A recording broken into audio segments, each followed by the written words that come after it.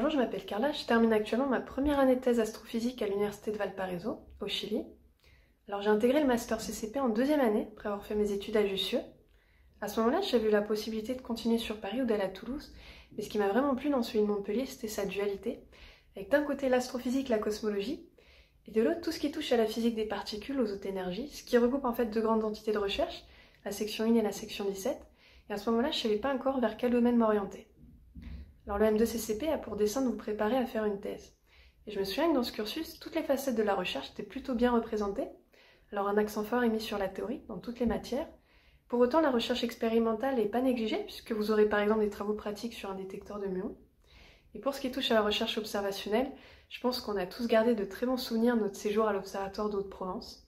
On a pu conduire des observations, travailler en équipe sur des projets, une super expérience partagée avec le M2 Astro.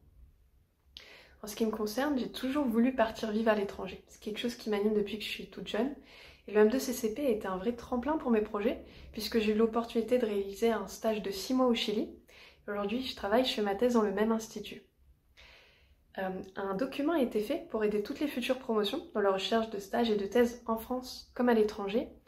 Et une chose à retenir, c'est qu'il ne faut pas vous inquiéter si vous ne trouvez pas de thèse dans la foulée du M2, parce qu'en effet, en fonction du pays, de l'hémisphère où vous vous trouverez, les rentrées universitaires académiques ne sont pas les mêmes.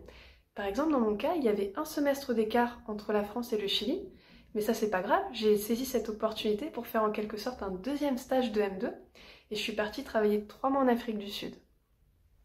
Quelque chose qui me, ce qui me plaît bien au Chili, c'est que le sujet de thèse n'est pas précis dès le début, en fait il se construit au cours des deux premières années. Et ça c'est très sympa en fonction des différents projets, des différents travaux et articles que l'on fait. Et euh, un autre côté sympa, c'est qu'il existe beaucoup d'opportunités de bourse pour les étudiants euh, auxquelles on peut candidater pour aller présenter nos travaux à l'étranger sous forme de posters ou de conférences. Aujourd'hui, je travaille à l'interface entre deux groupes, dans le domaine du lentillage gravitationnel et aussi du submillimétrique avec des observations ALMA.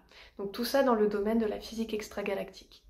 Et je garde vraiment de très bons souvenirs du master à Montpellier, aussi bien des, enseignants-chercheurs qui étaient toujours là pour nous soutenir, pour nous conseiller, du cursus, mais également de la ville de Montpellier en elle-même, qui est vraiment avec un cadre de vie euh, super agréable. Et aujourd'hui, j'ai aucun regret, je suis très contente et je ne peux que vous recommander de faire le même choix.